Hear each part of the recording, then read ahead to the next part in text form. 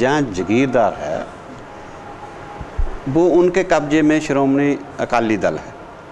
श्रोमणी अकाली दल के कब्जे में श्रोमणी गुरुद्वारा प्रबंधक कमेटी है। श्रोमणी गुरुद्वारा प्रबंधक कमेटी के कब्जे में अकाल तख्त है। वो उनका अकाल तख्त किसी को सिख माने या ना माने, किसी को बोल देते हैं जो सिख है, किसी को बोल दे सिख नहीं है। जो पाठ करता है, जो बाजा बजाता है, ढोलकी बजाता है जहाँ चिमटा बजाता है, जो इस, इसकी सफ़ाई करता है, जहाँ लंगर में रोटी पकाता है, कोई भी, काम करता है, वो हमारे लोग करते हैं। लेकिन जो मैनेजर बैठा है, उस उस टेबल पे अंदर पे जो गोलक है, इसका जो पैसा है, वो गिनेगा, वो वो ही सारा कुछ करेगा। देखिए, ऐसा है भी गुरु गोविंद सिंह जी ने, गुरु नानक देव जी ने और गुरु ग्रंथ साहब ने तमाम लोगों को जोड़ने की बात की। लेकिन जो इनका अमल है। वो तोड़ने की बात करता है। जब हम राम सिंह हैं तो राम सिंह हैं। जब हमने अमृत शक लिया तो हम सिख हैं। हम मजहबी सिख नहीं हैं। रमदासिया सिख नहीं हैं। वाल्मीकि सिख नहीं हैं। रामगढ़िया सिख नहीं हैं। शिम्बा सिख नहीं हैं। हम सिख हैं। और इन लोगों ने कभी भी हमको सिख नहीं माना। मगर जोड़ देते हैं। जैसे हिंदू धर्म में किया गया था ना, उसकी जाति, ये भी साथ में जाति बोलते हैं। हम सिख हैं, अपने गुरुद्वारे में बैठे हैं, हम बोलते हैं हम सिख।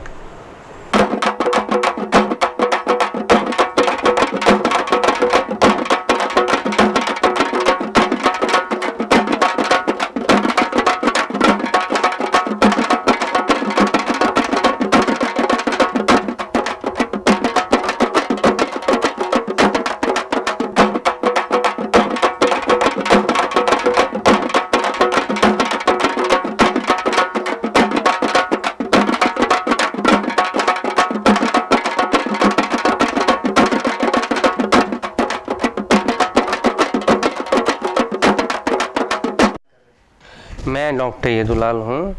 मैं इस समय कंसल्टेंट ऑर्थोपेडिक सर्जन हूँ सफदरजंग हॉस्पिटल में। And I am heading a unit comprising of about forty two beds मैं इस समय नंबर टू पोजीशन पर हूँ अपने डिपार्टमेंट में। About twenty doctors are working under me ऐसा है कि शेड्यूल कास्ट आदमी स्टेटस पे भी पहुँच जाए, चाहे सर्जन हो या प्रोफेशनल हो तो साइकोलॉजिकल रिकॉग्निशन उसके सीनियर से, उससे कलीग से, उससे जूनियर से नहीं मिलता है।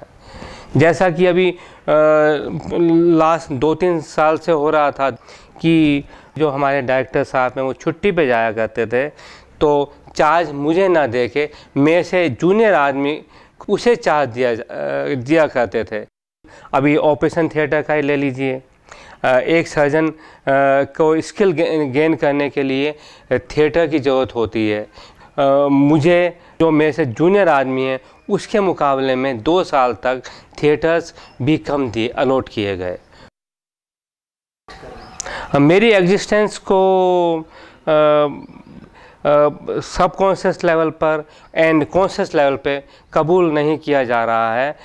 अभी ये विलेज लेवल की आमने सामने की गाली गलौज को पार करके हाई टेक डिस, डिस्क्रिमिनेशन होने लगा है। आमतौर पे ये माना जाता है कि जो एम बी बनते हैं शेड्यूल कास्ट के लोग ये जो है बहुत कम परसेंटेज पाकर किसी और की सीट को धक्का मारकर किसी और को की बलि चढ़ाकर जो है बन जाते हैं डॉक्टर इसके बारे में ऐसा कुछ नहीं है। हमारा जो शेड्यूल कास्ट बच्चों का और बाकी लड़कों का अंतर बहुत ज़्यादा नहीं है। और दूसरा जो इकोनॉमिकली स्पॉइल्ड बॉयज़ हैं उन्हों को बहुत जल्दी पनपाया जा रहा है। ये कह के कि ये सेल्फ फाइनेंस सीट से आए हैं, ये आए हैं। उसके लिए तो गवर्नमेंट ना गवर्नमेंट ही बोलती है, ना आम पब्लिक बोलती है, जो कि बहुत कम परसेंटेज लेकर डोनेशन कॉलेज से आके सामाजिक जीवन के साथ खिलवाड़ कर रहे हैं। आखिर समाज की उदासीनता इस इकोनॉमिकली स्पॉइल्ड लोगों से क्यों है? मेरा नाम कुसुम यदुलाल है। और मैं लाल बहादुर शास्त्री संस्कृत विद्यापीठ में शिक्षा शास्त्र विभाग में लेक्चरर हूँ। मैंने B A B Ed M economics और M Phil P H D है। क्लास में पढ़ता है? संस्कृति में। और इसने आप विश्वास सिर्फ़ दो महीने से दिल्ली यूनिवर्सिटी घूम रहा है। जैसे ही पैदा हुआ ये मेरे साथ साथ पूरी पीएचडी की डिग्री ली है इसने तो स्कूल लेवल पे आपको इस तरह की कोई दिक्कतें हुई हैं? आपके दलित होने को लेकर के। स्कूल लेवल पर अगर होती भी हैं तो लोगों को इतना ज्ञान नहीं होता है, इतने मैच्योर नहीं होते हैं, हम समझ नहीं पाते हैं। क्योंकि जब हम जैसे जैसे बड़े होते हैं, समस्याओं का सामना करते हैं और हमारी सोच बढ़ती है, समझ आती है, तब हमें एहसास होता है कि केवल हम इस वजह से परेशान हैं और इस वजह से हमारे अंदर जो है, हम लोगों को भिन्न समझा जा रहा है, केवल कास्ट बेसिस की वजह से। वो लोग हमें अपनी बराबरी में देखना नहीं चाहते they will deny me every possible opportunities जो कि मेरा स्टेटस बताती हो वो मुझे डिनाई करना चाहेंगे। उन लोगों की दृष्टि में ये है कि दलित वर्ग से हैं इन लोगों को इतना ज्ञान नहीं है इनको इतना बुद्धि नहीं है उन लोगों की ये मानसिकता है। क्योंकि मैं पहले तो दलित ऊपर से महिला। डबल दलित हो डबल दलित हो गई मैं। जितने भी highly talented schedule caste officers हैं चाहे वो टेक्नोक्रेट हैं चाहे प्रोफेशनल हैं या हो भी हो सकता है कि वो एडमिनिस्ट्रेटिव पोजीशन में भी हों तो भी उन्हों की यही दास्ता है।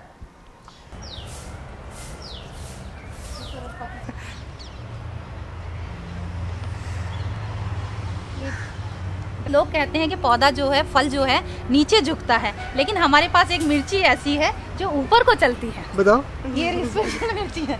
जो ऊपर खड़ी होती है आसमान की तरफ़ देखती है अपनी उन्नति को देखती है ये दलित है ये दलित है।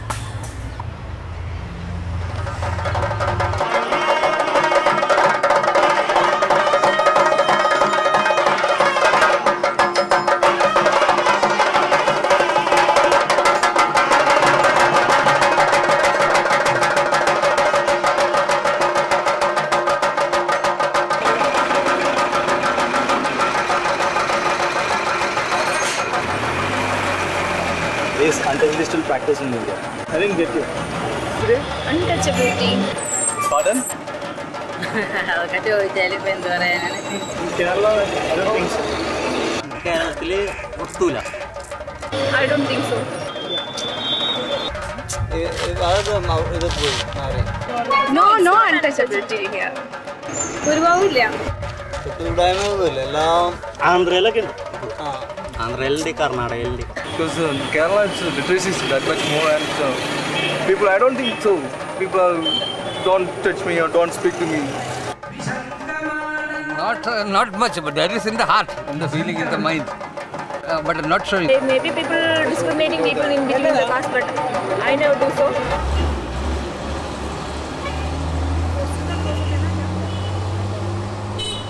കേരളത്തിൽ മറ്റേ ഒരു സംസ്ഥാനത്തിലും ഇല്ലാത്ത വിധം ഏറ്റവും പ്രോഗ്രസ് ഏറ്റവും ഡെവലപ്ഡ് എന്ന് പറയുന്ന സംസ്ഥാനത്ത് ഏറ്റവും കർശനമായി ജാതി പ്രവർത്തിക്കുന്നുണ്ട്.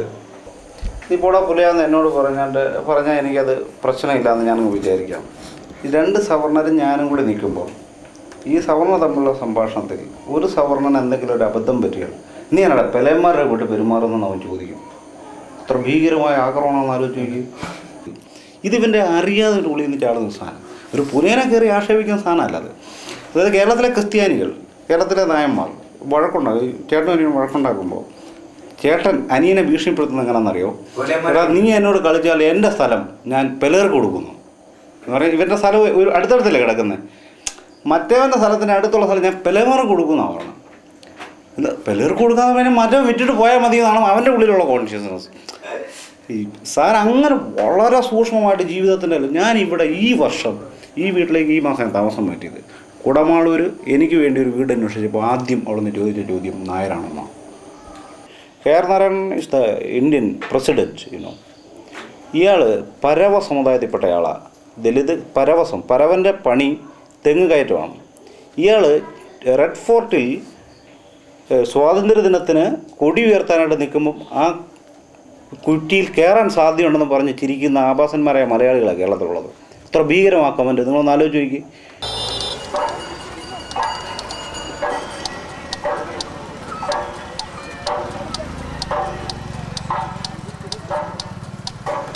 ജി പാസ്സായി. കാസ്റ്റ് സർട്ടിഫിക്കറ്റിന് വേണ്ടി ഞാനിവിടെ ഇവിടെ നമ്മുടെ ഈ വൈക്കം. ഞാൻ എന്റെ സർട്ടിഫിക്കറ്റിന്റെ അപ്ലൈ ചെയ്തിട്ട് എന്റെ കുട്ടിക്ക് ഫയതോർന്നും റമോൺ എന്ന പേരിട്ടായിരുന്നു അപ്പോൾ ഇതൊക്കെ അയാൾക്കൊരു പ്രശ്നമാകുകയാണ് അതായത് തഹസിൽദാർക്ക് വലിയ പ്രശ്നമാകുകയാണ് എന്തുകൊണ്ട് ഒരു പട്ടികക്കാരൻ ഇങ്ങനെ പേരിട്ടുന്നു? ആ നിലയ്ക്ക് എന്നോട് വളരെ റഫായിട്ട് സംസാരിച്ചു. എന്നിട്ട് അയാൾ എനിക്ക് തന്ന അവസാനം സർട്ടിഫിക്കറ്റ് തന്നറിയാം ഇയാൾക്ക് ഒരു മതത്തിലും പെടുന്നില്ല എന്ന് പറഞ്ഞാൽ അതുകൊണ്ട് സർട്ടിഫിക്കറ്റ് തരാൻ പറ്റില്ല എന്ന് പറഞ്ഞാൽ ഞാൻ അപ്ലൈ ചെയ്യാൻ പാടില്ല. അതാണ് ശരിക്കും പ്രശ്നം. ഞാൻ ഇരിക്കുന്ന പോസ്റ്റിലേക്ക് ഞാൻ അപ്ലൈ ചെയ്യരുത്. ഇത് പ്രശ്നം. സാങ്കുട്ടിയുടെ കുട്ടിക്ക് എന്ത് പേരിടണം എന്ന് തീരുമാനിക്കാനുള്ള റൈറ്റ് ആർക്കാണ് എന്നാ പ്രശ്നം. പണ്ട് കേരളത്തിന്റെ ഒരു ട്രഡീഷനിൽ ഈ പുലയർക്കും പലർക്കും ഒക്കെ ഉണ്ടാകുന്ന കുട്ടികൾക്ക് പേരിട്ടുകൊണ്ടിരുന്നത് സവർണരാണ് അവർ ജാത്തെന്നും മാടൻ എന്നൊക്കെ വിളിക്കുക അതങ്ങ് വിളിച്ചുകൊണ്ടിരിക്കുക ഇതാണ് കാസ്റ്റ് എന്ന് പറഞ്ഞ സാധനം. കേരളത്തിൽ ഓപ്പറേറ്റ് ചെയ്യുന്ന കാസ്റ്റിന്റെ രൂപം അതാ സംഭവം.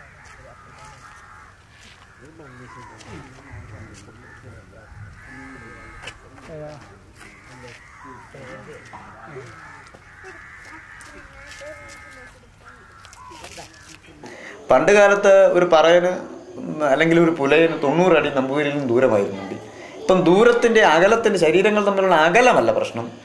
മറിച്ച് മുണ്ടിൽ നിന്നും ജാതി ഗ്വാളിയർ റയോൺസിന്റെ പാന്റിലേക്കും കോട്ടിലേക്കും മാറിയുന്നുള്ള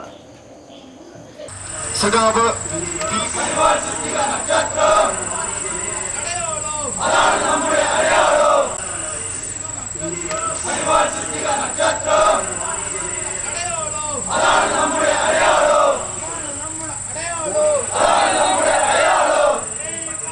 ഞാൻ എസ് എഫ് ഐയുടെ സജീവ പ്രവർത്തനമായിരുന്നു ജില്ലാ ജോയിന്റ് സെക്രട്ടറി ഒക്കെ ഞാൻ ഡിഗ്രിക്കൊക്കെ പഠിക്കുമ്പോൾ അതുപോലെ സെനറ്റ് മെമ്പറായിരുന്നു കോളേജ് യൂണിയൻ ചെയർമാനായിരുന്നു ഇങ്ങനെ എസ് എഫ് ഐ തന്നെ സി പി ഐ എമ്മിൽ പാർട്ടി മെമ്പർഷിപ്പിലുണ്ടായിരുന്ന ആളാണ്. ഡി വൈ എഫ് സജീവമായിട്ട് പ്രവർത്തിച്ചിരുന്ന ആളാണ്. അപ്പോൾ ഈ ഒരു മേഖലയിൽ നിന്നെല്ലാമാണ് ഞാൻ ഈ ഒരു ഒരു ദളിത് ബോധത്തിലേക്ക് വരികയും ഇങ്ങനെയൊക്കെ ചില വഴികളുണ്ടെന്ന് എനിക്ക് ബോധ്യമാവുകയും ചെയ്തത് ഇന്ന് കേരളത്തിന്റെ എല്ലാ ക്യാമ്പസുകളും എടുത്ത് പരിശോധിച്ചാലും ഏറ്റവും അധികം എസ് എഫ് ഐയുടെ കീഴിൽ നിൽക്കുകയും എസ് എഫ് ഐക്ക് വേണ്ടി രാപ്പകല എന്നെ അധ്വാനിക്കുകയും മുദ്രാവാക്യം വിളിക്കുകയും പോസ്റ്ററുകൾ ഒട്ടിക്കുകയും ഒക്കെ ചെയ്യുന്ന ലേബറേഴ്സ് വിഭാഗം അതെ ഒരു തൊഴിൽ ഒരു വിദ്യാർത്ഥി തൊഴിലാളി വിഭാഗം. അത് കൃത്യമായിട്ട് ഇവിടുത്തെ ദളിത് വിദ്യാർത്ഥികളാണ്.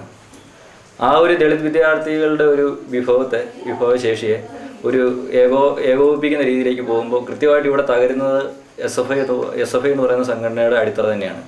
കേരളത്തിൽ എന്താ വെച്ചാൽ ജാതി ശരിക്കും പറഞ്ഞാൽ ആക്രമിക്കുകയല്ല ചെയ്യുന്നത്. തമസ്കരിക്കുക ചെയ്യുന്നത്. അതാണ് അതിന്റെ ഇത്. ഇല്ല എന്നങ്ങോട്ട് കരുതി കളയുക പ്രത്യേകിച്ചും കമ്മ്യൂണിസ്റ്റുകളാണ് ഏറ്റവും കൂടുതൽ നന്നായിട്ട് നടപ്പിലാക്കുക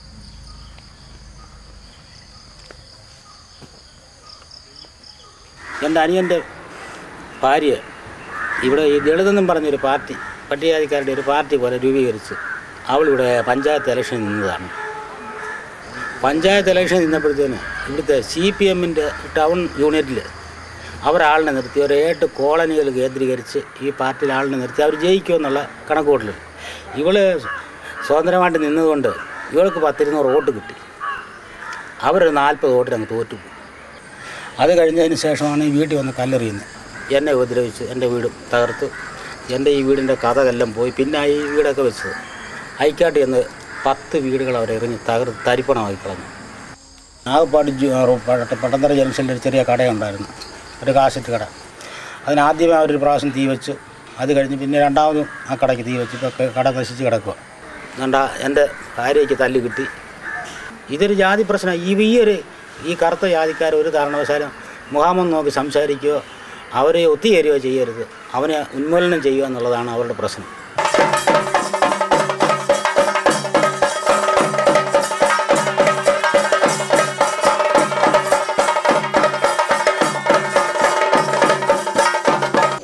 പറയുന്ന കേരളം വളരെ ഡെവലപ്ഡാണ് കേരളം മോഡൽ സ്റ്റേറ്റ് ആണ്. കേരളത്തിന്റെ പറയുന്ന പോലെ ഇൻഡെക്സുകളെല്ലാം കാനഡയ്ക്ക് തുല്യമാണ്. ഓക്കെ നമ്മളത് വാദത്തിന് വേണ്ടി സമ്മതിക്കാൻ തയ്യാറാണ്. ഇത് സൂചിപ്പിക്കുന്ന ഇൻഡെക്സ് എന്താണ്?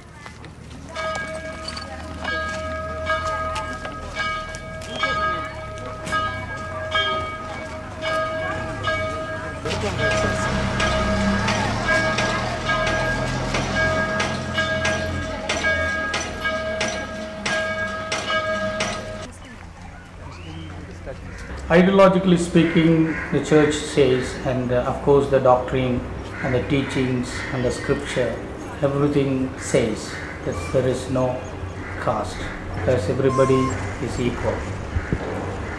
But in practice, people were converted to Christianity from different castes. When they got converted, they brought this caste mind also with them. You could see this in, in the more visible forms in the worship places, like uh, separate places in the church, or even separate churches for uh, low caste and high caste. இது யாருக்கு உண்டான church எங்களுக்கு அவங்க மேல் அப்படிதான் நாங்கள் ஏழை குடும்பம் அதனால எங்களை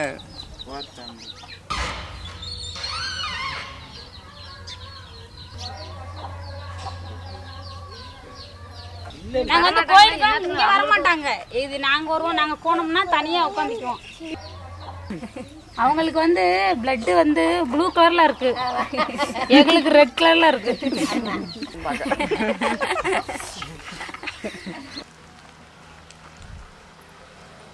இங்க தலித். ஆ தலித் இது. One years.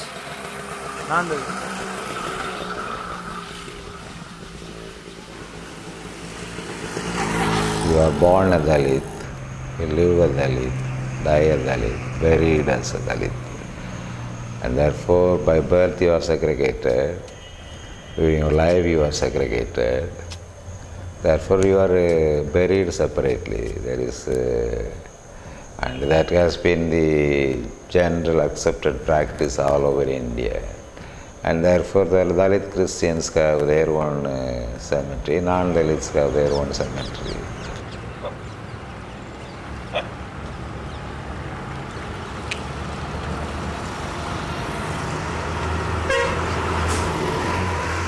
Mission એરિયામાં ક્રિ- અ, કેથોલિકનું ચર્ચ છે ને એ સાઈડે મકાન શોધતા હતા ત્યાં પહેલાં તો અમે મકાન જોયું, ગમ્યું.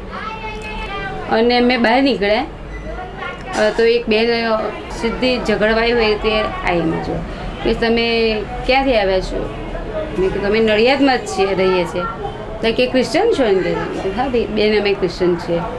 મકાન તો કે તમારી બધી બહુ સોસાયટી આગળ છે કે છે. આ પટેલોની સોસાયટી છે કે છે. એટલે અહીં તમે ના આવશો. બરાબર એટલે પછી અમે એ વાત જ પડતી મૂકી તો અમે અમારી રીતે અમને પસંદ હતો એવા એરિયામાં લઈ લીધું મકાન. અહીંયા કયા અ, જાતિના લોકો રહે છે અહીંયા વધારે આપણે ક્રિશ્ચન ખરા તો બધા હરિજન સમાજમાંથી ખ્રિસ્તી થયેલા.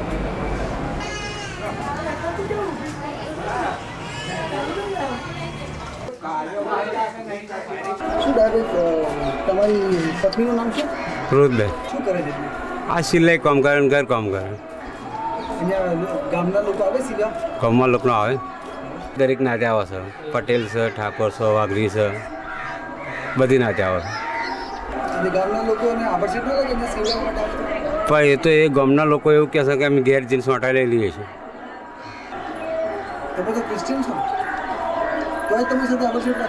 શું થાય તાર? એ હોય તો વણકર તરીકે જ માનો છે. ક્રિશ્ચન તરીકે નહીં માનતા એ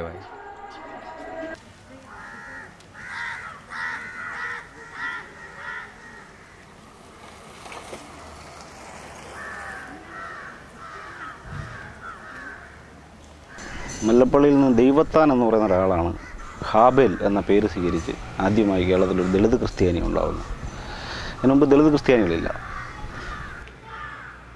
ആദ്യമായി ദളിത് കൺവേർഷൻ ഉണ്ടാവുന്നതോടെ ബാക്കിയുള്ള കമ്മ്യൂണിറ്റി പരിപൂർണമായും ക്രിസ്ത്യാനിറ്റിയിൽ നിന്ന് വിട്ടു നിൽക്കുന്നുണ്ട്.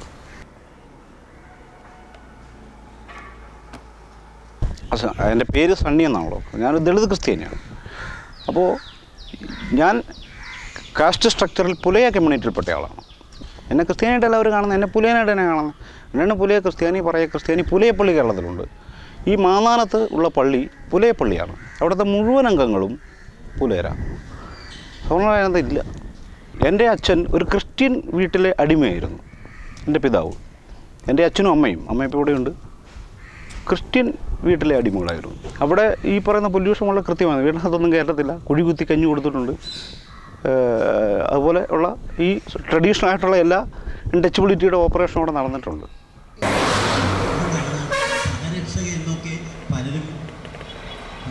ക്രിസ്ത്യാനിറ്റി എന്ന് പറയുന്നത് നമ്മൾ വിചാരിക്കുന്നത് പോലെ ബൈബിളിലെ ബിബ്ലിക്കൽ കോൺഷ്യസ്നസ് രൂപം കൊള്ളുന്ന ഒരു ഇക്വാളിറ്റിയുടെ അടിസ്ഥാനത്തിലുള്ള ഒരു മതബോധമല്ല.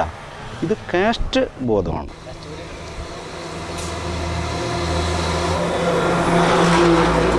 ഒരു വല്ലാത്ത ഒരു പ്രതിസന്ധിയിൽ അകപ്പെട്ട ഒരു ഇതുണ്ട്. ശരിക്കും ഇത് ചെയ്യുന്നുണ്ട്.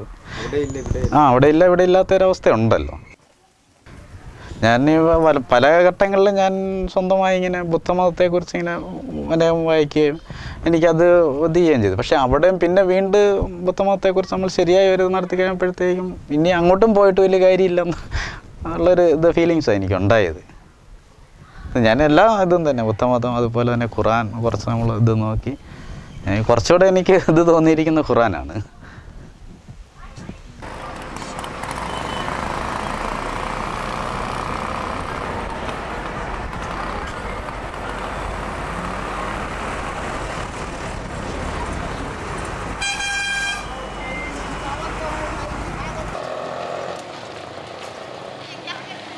मुसलमानों में दलित हैं होते नहीं हैं लेकिन अभी तक वो वोटर रहे वोकल नहीं रहे मुसलमानों में नट है पमड़िया है, हललखोर है, भंगी है, भाट है, धोबी है। उसी तरह से जो उधर भी जातियाँ हैं, इधर भी जातियाँ लगभग एक दर्जन की जातियाँ हैं।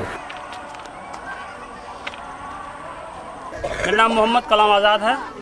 जी, हम भी बखू बिरादरी से हैं। इस्लाम धर्म मानने वाले जात होते हैं। पक्खों की काम कोई रिक्शा चला रहा है, कोई ठेला चला रहा है स्टील की बर्तन होती है ला करके इसको हम लोग बना उना करके फिर रोड पर जाकर हम लोग उसको बिक्री करते हैं। तो जो बाकी जो बिरादरी है जो सैयद है पठान है शेख ये लोग क्या बखों के जो काम को या बखों की बिरादरी को नीचे समझते हैं? एकदम नीचे समझते हैं। शेख सैयद जो लोग हैं बड़े खानदान के हैं बड़े पोस्ट पर हैं वो तो अभी तक अपने घर पर बैठने भी नहीं देते हैं साथ में। छूत मानते हैं। घिन मानते हैं। कि तो घर घर का है जिससे भी पूछेगा आपको बता सकते हैं हम क्या कर सकते हैं। मतलब जात पात है हाँ जात पात अभी है। जात पात एक ही जगह नहीं है कि मस्जिद जहाँ पर हम लोग अल्लाह की इबादत करने जाते हैं वहाँ पर कोई जात पात नहीं है। वहाँ पर इसलिए बना लिया गया है कि हम भी मुसलमान आप भी मुसलमान हैं एक साथ पढ़िए और एक साथ और कोई कर्म नहीं कर सकते हैं आप। वहाँ से निकलने के बाद आप जात पात वहाँ आइए सब भूल जाइए। वहाँ से निकलिए सीढ़ी से उतरिए और शुरू हो जाएगा। वहाँ पर पाँच मिनट या दस मिनट अल्लाह का डर उसको लगता है कि मुसलमान मुसलमान सब एक एक इस्लाम के मानने वाले हैं। मगर उस मस्जिद के अंदर से बाहर निकलिए इस्लाम चला गया इधर और क्या बोलता है शोषण आ जाता है आगे में। यानी कि जो इस्लाम का पैगाम था मसावत का बराबरी का वो समाज में अभी तक यहाँ अपना नहीं पाए हैं। डॉक्टर इकबाल को लगा था। इनका सारे जहाँ से अच्छा हिंदुस्तान हमारा लिखा हुआ है ए, वो उनका एक शेर है कि यूँ तो सैयद भी हो मिर्ज़ा भी हो अफगान भी हो तुम सभी कुछ हो बताओ तो मुसलमान भी हो?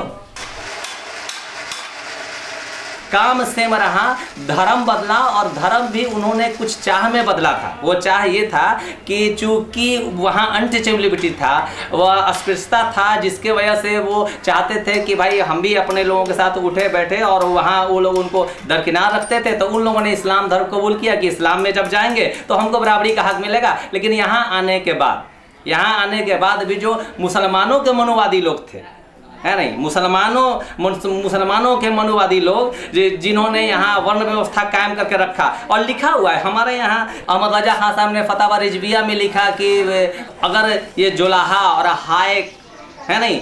और क्या कहते हैं, कसाई और ना, नाई और धोबी, ये जो नीचे काम करने वाले लोग हैं, ये आलिम भी हो जाएँगे विद्वान भी हो जाएँगे, तब भी ये सैयद के बराबर के नहीं हो सकते, शेख के बराबर के ये सुरफा के कुफू नहीं, यही लाइन है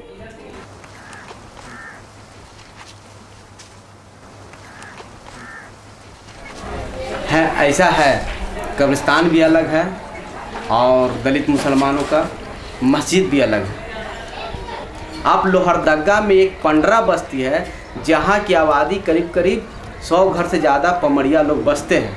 वहाँ पर ही लोग ने उसको मार धार के भगा दिया और कहा जुमा के नमाज़ में कि पमड़िया लोग तुम पीछे जाओ, आगे नमाज़ पढ़ेगा। उस पर ये लोग ने कुछ मारा पीटी हुआ। अंत में ये हो गया कि वो लोग एमसीसी से जुड़ गए, मारा पीटी किए।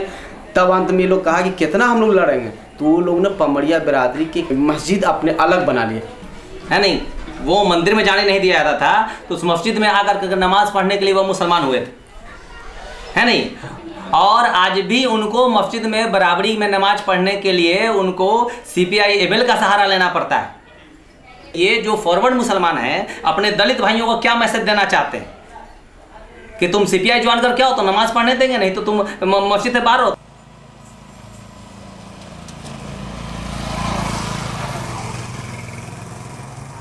मुसलमानों के लाश से छुआछूत है, ये है मुसलमानों में। हमारे गाँव में खुद कब्रिस्तान अलग है, हमारे पमरिया कब्रिस्तान अलग है, मंसूरी कब्रिस्तान अलग है, सैयदो कब्रिस्तान अलग है, धुनिया कब्रिस्तान अलग है। और लोग कहते हैं कि अनटचेबल नहीं है।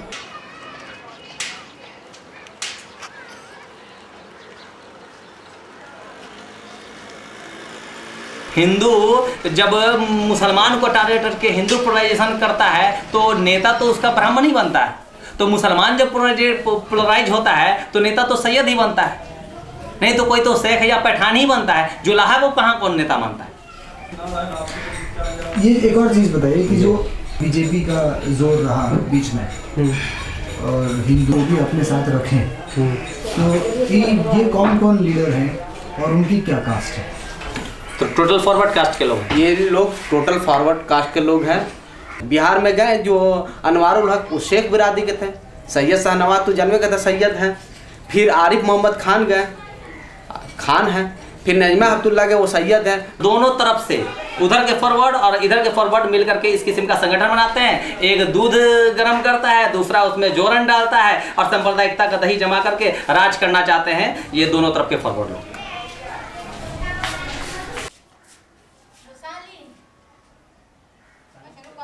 तो ये तो मामला है। हमारा पसमानदा मुसलमान हमारा पसमानदा मुसलमान कभी ना कॉमनल था ना कॉमनल है और ना हमारे यहाँ की ऐसी ट्रेनिंग है।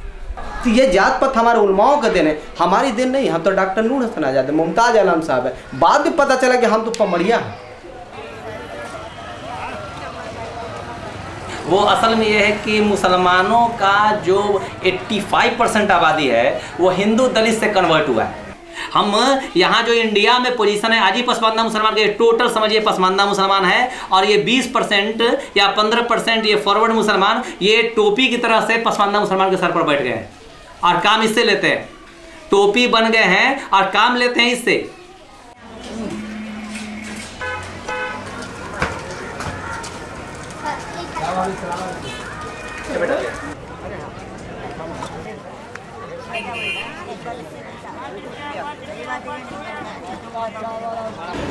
This Varna, as far as I can see in the present day, I think it is even today very relevant. Those who can carry the tradition of the Shastras, those who can carry the tradition of the Kshatriya Dharma, the Vaishya Dharma, this can be preserved only when there is a hereditary system.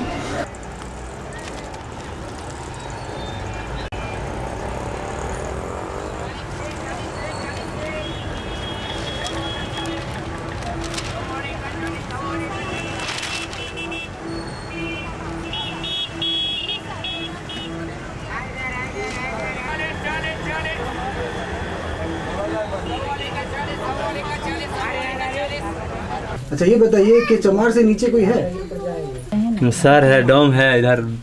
एक चमार के लड़के की शादी होगी डोम के साथ? नहीं। क्यों नहीं होता? डोम करेगा डोमे। में मुसलमान करेगा मुसलमाने में। नया करेगा नये में। सौतार भी करेगा सौतरे में। बंगाली करेगा बंगाली में। मंडल करेगा मंडल में। अपने जात में करो शादी ब्याह दोसर जात में कैसा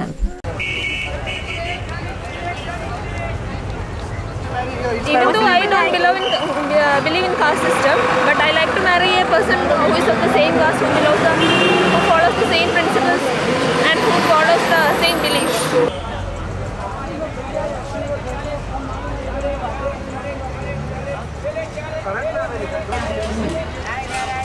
तो जोला जोले में करता है शादी ना अब पैठान करेगा हवारी से तो ना ना करेगा पैठान लोग शादी अगर वो मुसलमान दलित से निकाह करती है कोई सैयद लड़की तो निकाह नहीं होगा नहीं होगा